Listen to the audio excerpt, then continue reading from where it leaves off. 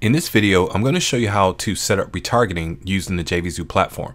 Now, before we begin, you'll need to make sure that you have the code for any retargeting or conversion pixels that you want to use with JVZoo. So to get started, you'll need to go up to the Sellers tab and then go to Sellers Dashboard.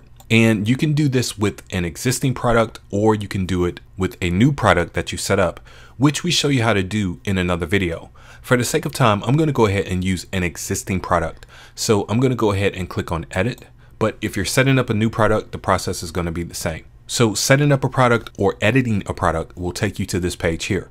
What you'll need to do is go ahead and come over to the advanced setting options, just like this. And then to use retargeting, you'll need to check this box here that says add retargeting slash tracking pixels. Next, you'll need to go ahead and put in your retargeting pixel here and your conversion pixel here. And then once you've done that, go ahead and click on save my product. And then you'll see that the product was successfully saved. And that's how you set up retargeting within the JVZoo platform. Take care.